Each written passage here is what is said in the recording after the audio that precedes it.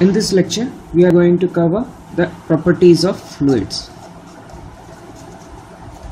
Properties of fluids. First property is specific weight.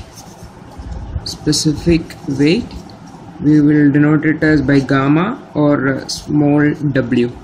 So specific weight gamma is weight by volume that ratio of weight and the volume we know that weight is equal to mass into acceleration due to gravity and volume is v. Then again we know that mass by volume we know that it is density rho rho into g. Okay for example for water density of water is uh, 1000 kilogram per meter cube. And g value it is constant for us it is 9.81 meter per second square.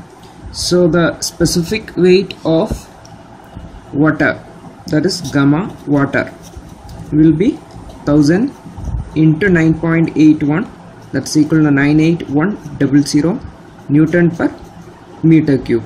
That is newton per meter cube means weight by volume. That is one unit volume 1 meter cube of water will weigh 9 this much newton weight. That is one unit volume will having weight of this much quantity. So next property that we are going to discuss is specific volume. Okay. We will denote it by small v. Specific volume is uh, nothing but that is mass 1 by density. That is equal to we know that we know that density is 1 by mass by volume. That is volume per unit mass. That is specific density. That is unit. The unit will become meter cube per kilogram. That is 1 ki kilogram of the material. What will be the volume of the fluid. Okay the next property that we are going to discuss is third property is specific gravity or we again call it as relative density. Okay so what is meant by specific gravity? It is just uh, small s what is the density of the fluid divided by density of standard fluid?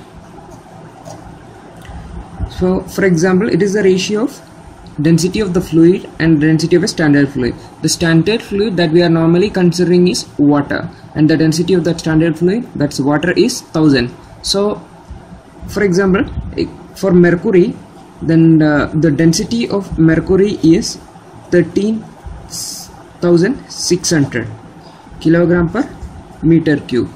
And the density of standard fluid that's density of water is 1000 kilogram per meter cube.